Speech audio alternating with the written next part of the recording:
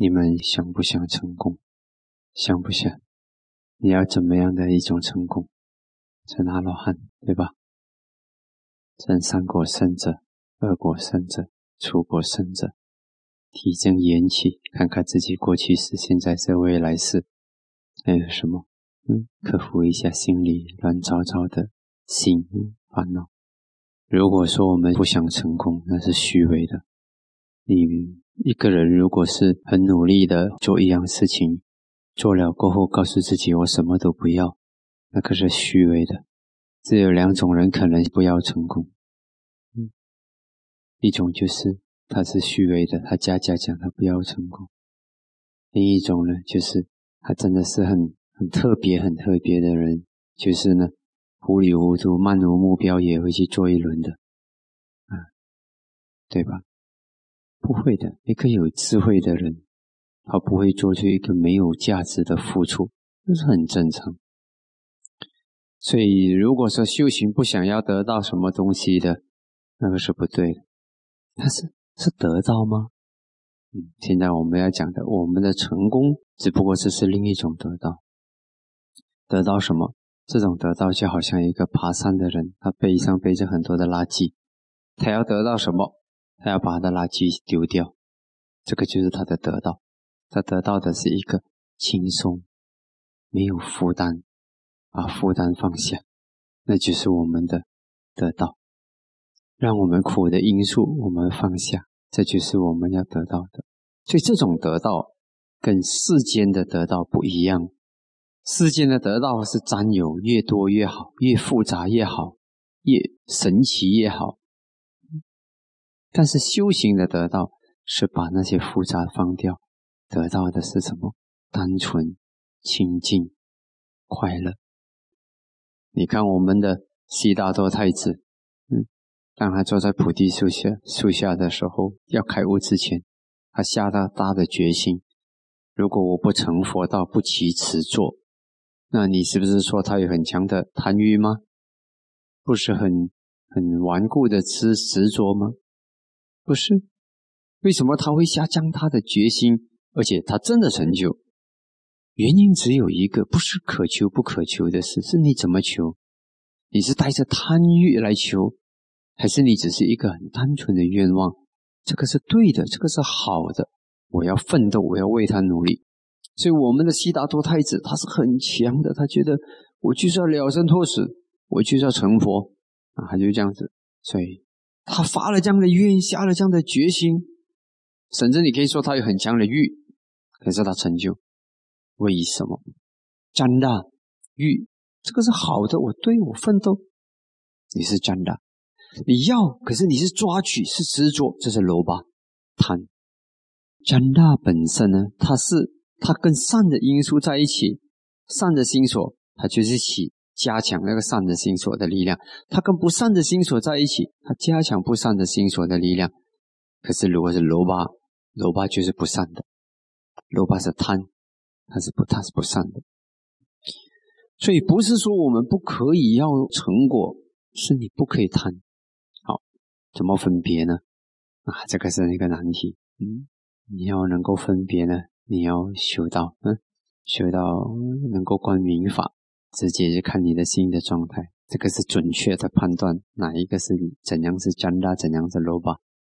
如果你的你的药让你痛苦，让你患得患失，得到你就开开心，得不到你就苦，然后天天在那边紧张。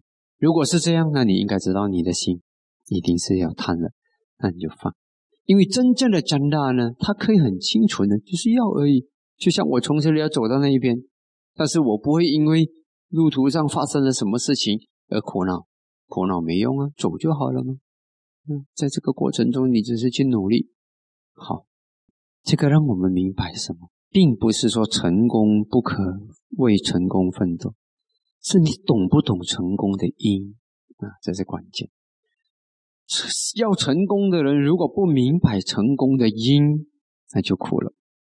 你要这个。你给他自己做一个苦的因，你怎么办？这个你不要觉得师傅很长气，有的人已经听我讲了好多年，但是我可以告诉你，有些听了两三年、四年也还没听懂。我有学生发微信给我，很苦恼的，他说：“啊，我原来就是很紧张，我结果还是那样。结果我看到，哎呀，这个可怜的学生，嗯，他从远方发微信给我，还是那句话，大家听完了这么多，听了这么多年，因果，因果，因果，因果，因果，我讲了这么多年的因果，弟子懂了没有？老实了没有？”没有人能够跨越因果，没有佛陀都没有可能。佛陀要度众生，也只能够照因果的法则度众生。佛陀都没有办法用神通去让释迦族不要被人家杀。因果，释迦族的因因要成熟，佛陀不能做什么。所以，如果佛陀没有办法违背因果做事，那谁能够违背因果做事？我们怎能？怎么能够比佛陀还要厉害？不可能！我们佛陀都要了，都没有办法违背因果，那我们怎么可能违背因果？不可能。那我们就老实就好。老实呢，就是我在因上努力，在因上下功夫，多去研究因果法则。每次听法，师父在讲法都在讲什么呢？其实你会发现，我从几年前到现在。天天讲的内容还不是在讲因果喜悦？你们一定要做快乐的人，因为不快乐的因，你懂阿毗达摩？不快乐的因就是苦受，苦受就是苦因，苦受只有只有在你的那个嗔心处，嗔心是才可能升起的。所以，那你就明白了，你一升起苦受，你一难受一痛苦，你造苦因；你一不快乐，你就马上警惕。你要有那个正念，马上 OK，不对，学佛你可以不快乐吗？你就是不快乐才进来学佛的。你学佛的过程中加重自己的不快乐，那你是造苦因，那白学了。那你每一天越学离佛越远，越学离法越远，越学离僧团越远，离三宝越远。那所以有些人就是越修越学佛越痛苦，为什么？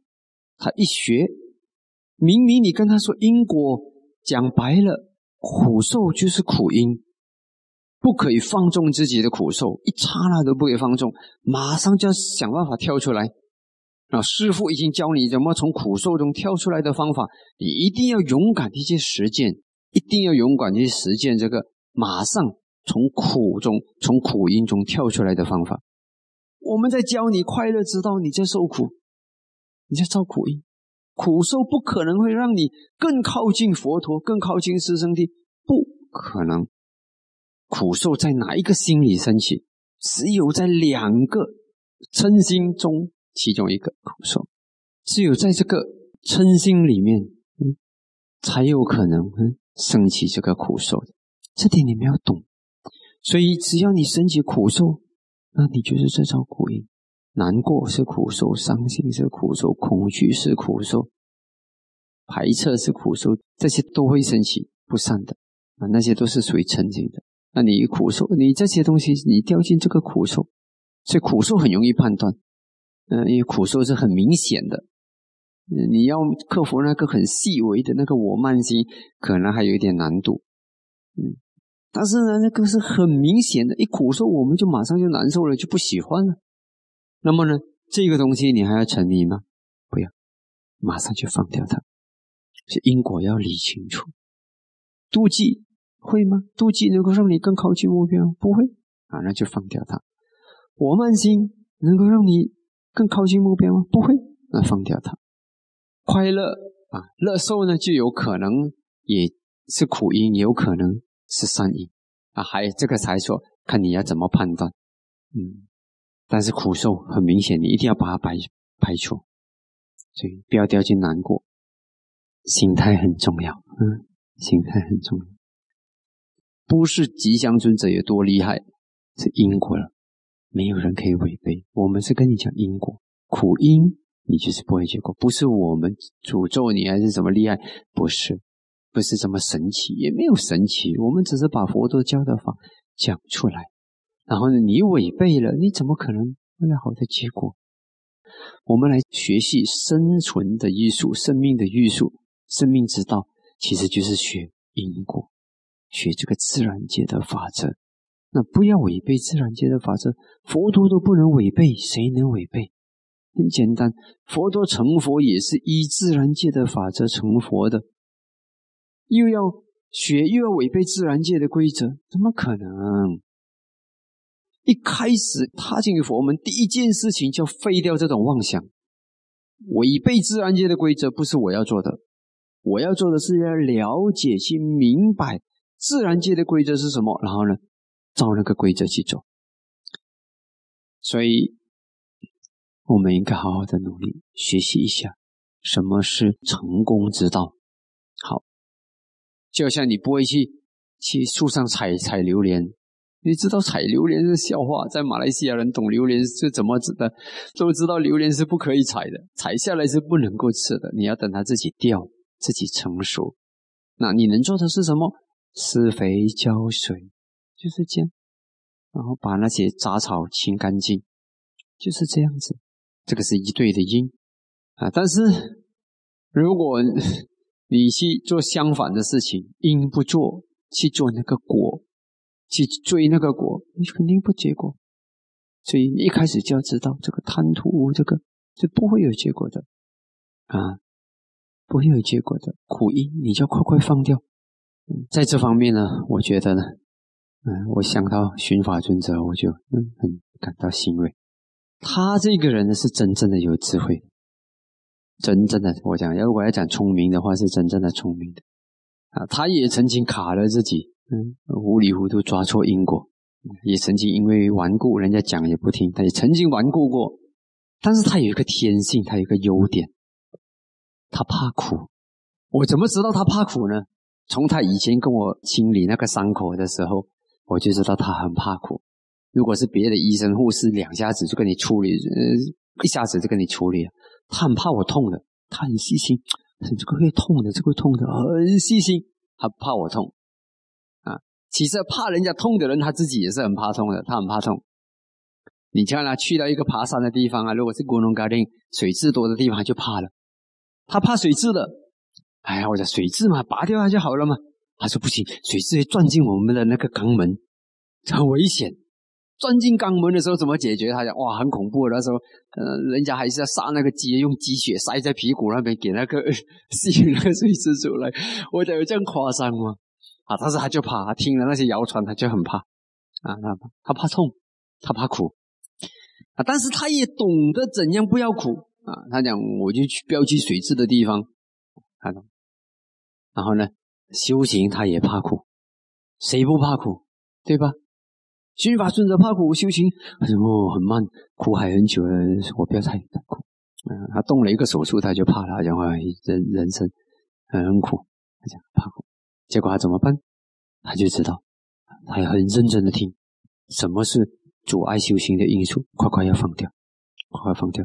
他只要他一明白那个东西，一次过，他只要听一次，他明白，他讲这个不好，这个不好，一明白就不好不好。所以我发现到，自从他一下定决心不要再给自己耽误的时候，只要你跟他讲清楚、解释，只要他一明白这个是苦因，那么他这个人也放得快。为什么？为什么我要抓那个火？你去抓那个火会烧伤，很简单的逻辑。不要执着成就，我们要成就，但是不要执着。那你还不懂执着是什么？那至少你要懂，执着会让你苦，对不对？那让你苦，你就把它放掉，不要不要坚持那个让你苦的心理因素，就是这么简单。你知道这个因素让你苦，就放掉它。所以一开始来学佛，就要告诉自己，建立起正确、坚定的因果信心、因果概念。自然界一切物质现象都有因果，你看哪一样东西没因果？你的头发长出来也有因果的，我可以告诉你，没有因，你的头发会长出来吗？不会。那你讲有什么事情是没有因果的？你可以讲吗？现在风吹在你的身体上。也是有因果的，因为有这个风扇在转，对吧？那个风扇会转是什么因啊？它有它那个科学原理，还有那个电，还有种种的因素，对不对？而有那个空间，也对不对？也是那个条件。所以没有一样东西没有条件，没有条件就不会产生。只有涅槃是不生不灭，不是因缘条件产生的。除了涅槃以外，一切一切现象都是有条件产生的。那物质世界是如此，精神世界可能不是如此吗？我们问一问我们自己，就是我们从以前我们考试的时候就已经有因果的概念。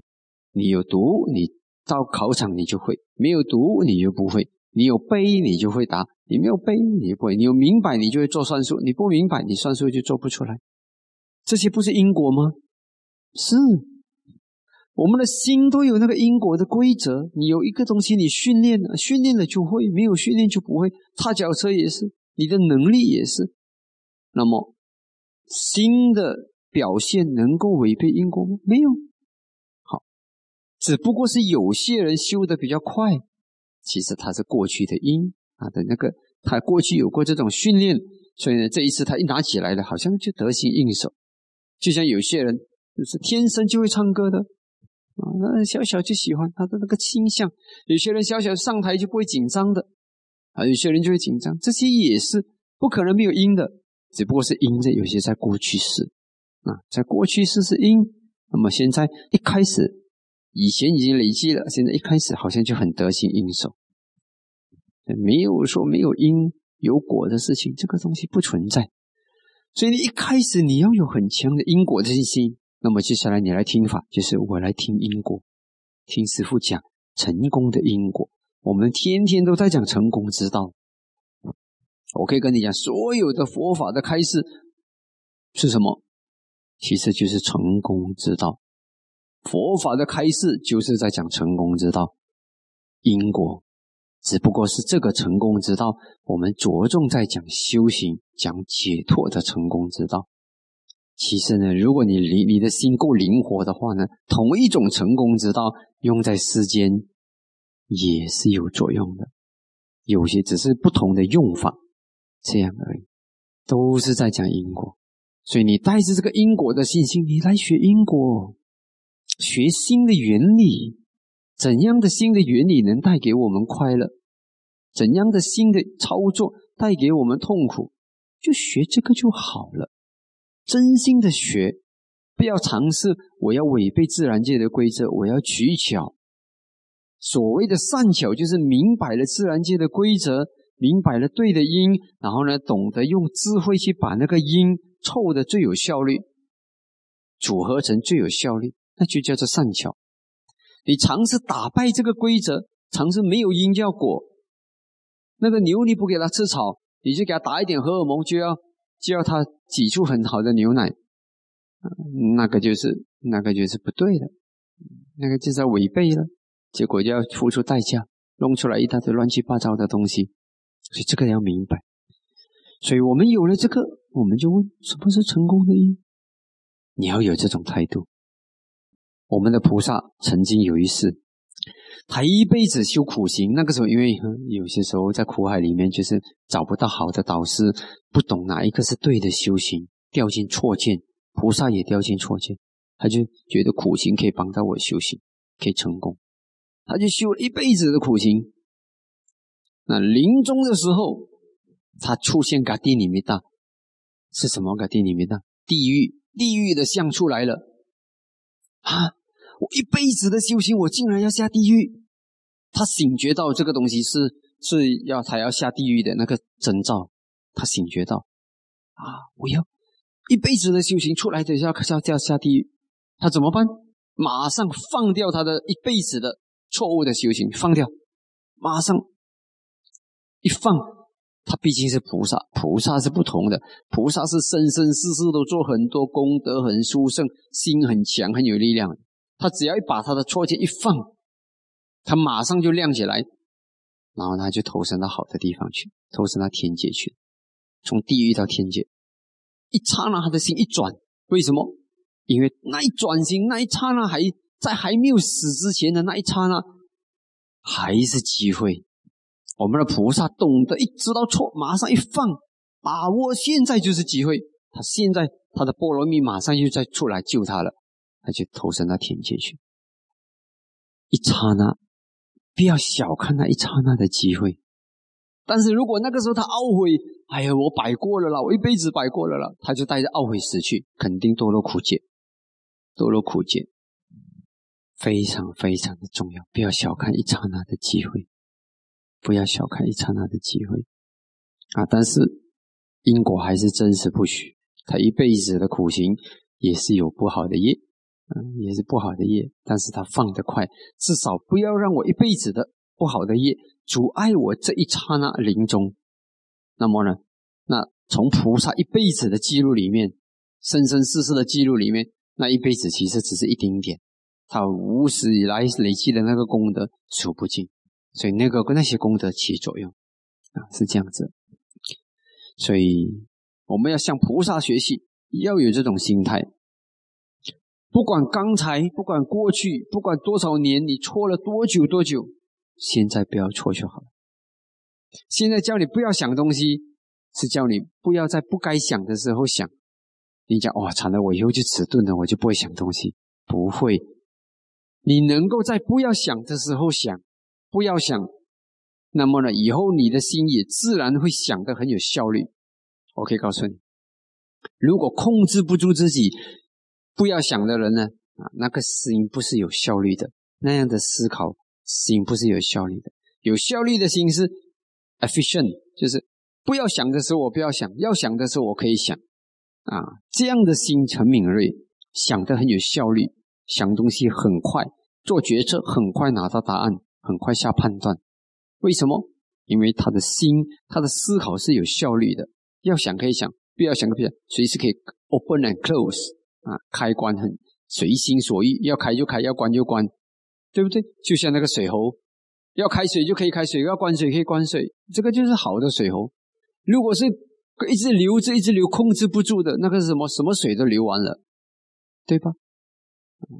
你不能够控制开关的，那个不是好的水喉。一样一样，心能够训练到它，要想可以想，不要想可以不要想，要静可以静，要动可以动，这个才是本领啊。如果那个心要静，静不下来，那个那是控制不了的心，自己不能够控制自己的心，那你不是很危险吗？那么心有很多层面，有动有静，对吧？动跟静是相对的，opposite。那么相对的，它是一种相对的力量，都是相辅相成的，真的是互相 support 的。所以能动能静，能静能动。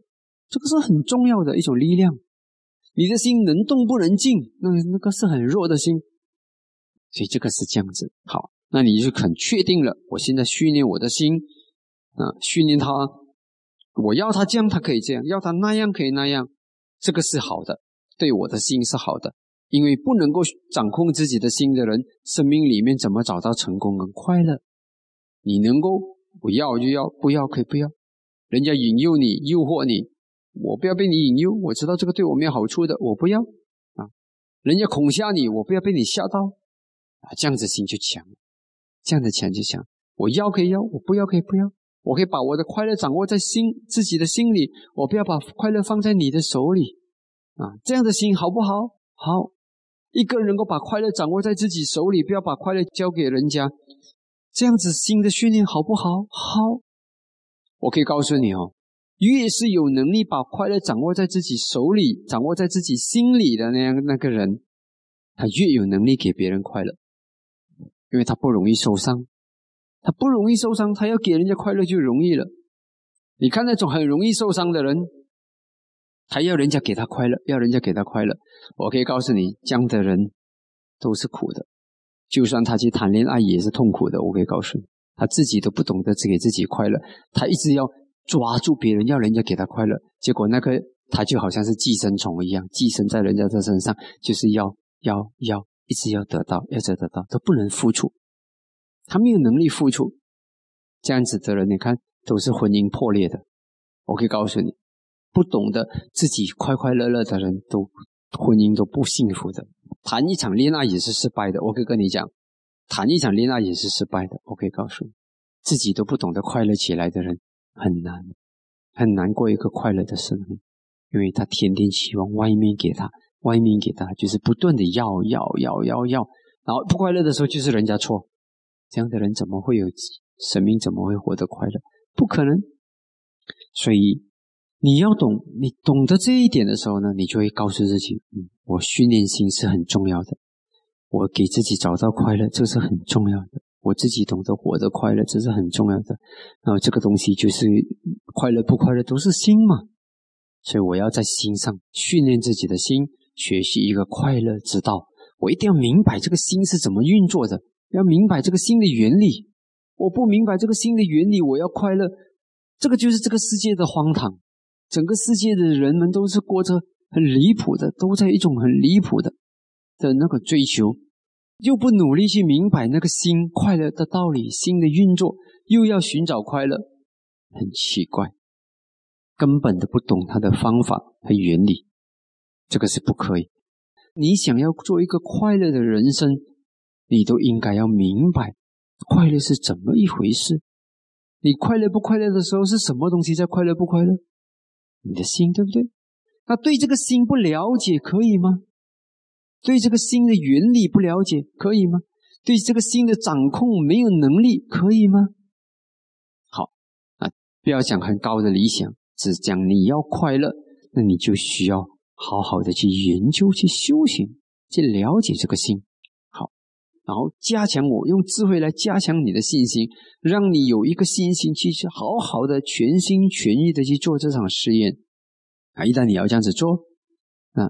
心就了断了嘛，有一种，嗯，这个心我要做，这个心就踏实的多。不要在那个做的时候飘来飘去，飘来飘去，做就做，不做就不做。人生就是这样子，没有说又要做又三心两意，没有一个人可以成功的。要做又想做又不想做，三心两意的事情呢，哈法的的事是不会成功的。你要做一样事情，就是要全心全意的去做好。你要先确定我训练心。了解心是值得的，是重要的，是我生命里面的大事。你确定了这个，你就去做啊，去明白它的原理，学习它的原理，了解这一切的因果关系。然后这一门的修行，它的成功的因是什么？去了解它，肯定不是烦恼，肯定不是贪嗔痴，一定是清净心，一定是单纯的心。这个单纯开始是我们把复杂砍掉，先学会这个单纯。你有了这个单纯以后，你可以面对整个世界的黑暗和复杂，你都不会复杂的。我可以告诉你，为什么？因为那个时候你是在迷宫，你你在这个迷宫上面看迷宫，跟你在迷宫里面找迷，你是完全不同的。嗯，你在迷宫里面就是你在里面转来转去，转来转去，你转不出来，你不知道那个路怎么走。你在迷宫上面一看，哎，我就看到了，哎，这样这样子就出了吗？这样子就走出来了吗？所以以后呢，一旦你有了这个单纯的力量，你有了看到的智慧，巴瓦那玛呀班呀，看到的智慧，体证的智慧过后呢，我告诉你，以后你再看这个世界的复杂，再复杂的事情，在你的心里都不会复杂。我可以告诉你，我可以保证。但是你这个单纯是有能力面对复杂的，这样才有用。如果是那个单纯是笨笨傻傻笨笨的，那个单纯是很危险的，走出去就给人家骗了。不会学佛的单纯不会让你傻傻笨笨，傻傻笨笨是学佛学不对。我们学佛呢，是开始是要明白那个原理，你明白了，你就不会复杂；你不明白它的来龙去脉，它怎么来怎么去，就会复杂。真的好，带着这个心，我们排除了我们的那些疑惑。让我们的心一个了断，我们要找我们确定了生命里面是有因果法则在运作。我要明白什么是对的因，我来研究，我来学习，我来印证。你要去印证，去 proof，看看是不是这样子的规则，这样的原理。你要去确定这一点。带着这样的心，师父一而再的在讲因果，一而再去讲这个。